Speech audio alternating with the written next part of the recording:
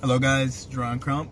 Thank you for tuning in with me on my vlog of the coaching clinic. I just want to show you guys how I prepare for the coaching clinic and what I do at a coaching clinic. If you would like to have me for a coaching clinic, you can contact the email or Instagram.